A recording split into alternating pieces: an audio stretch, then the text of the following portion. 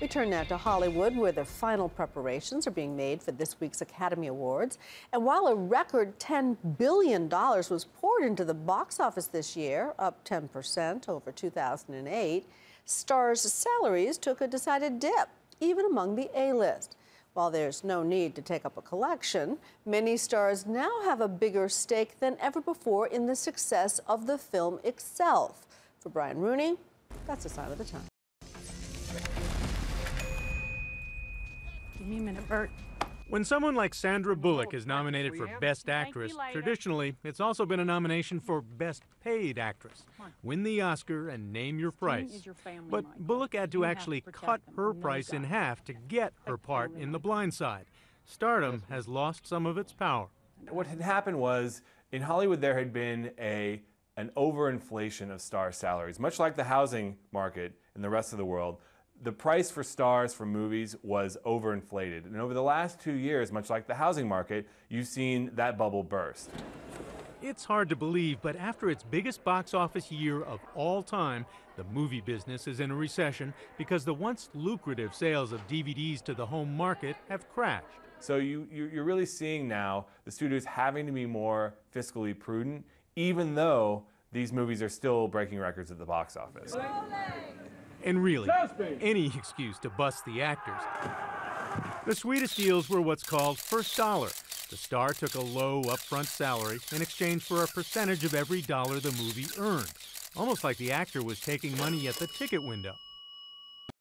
You can call me Joker. Jack Nicholson made a fortune that way with Batman. My name's Forrest Gump.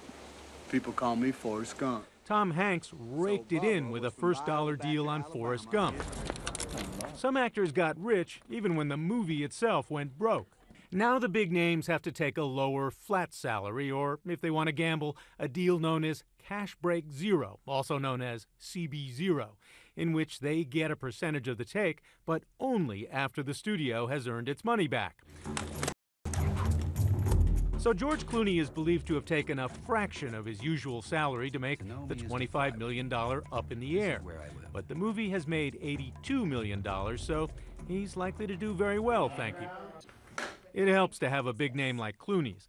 Are you in need of Thank you, but I don't need any help. The veteran and familiar Ed Asner gave voice to the animated character in the Oscar nominated Up, but he did it pretty much for basic scale and a percentage tip if the movie did well. Skip to the end. When I came to uh, Hollywood in 1961, I could get eight, ten jobs a year as a freelancer, and uh, I was in Fat City. I, I, I, felt I could raise a family uh, and, and be a middle class citizen. You can't do that anymore.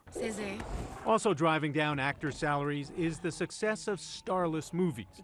For some of the biggest movies of last year, the star was the show itself. Avatar, mostly newcomers. Harry Potter and the Twilight series, no biggies there. And Transformers. Shia LaBeouf is popular, but not even the draw of the diminished Tom Cruise. The bottom line is a star is only worth the money you pay them. And the stars haven't been bringing them in. Well, you know, last year in 09, we had the biggest box office year ever, but most of the films were driven by the concept of the movie and not by the stars in them.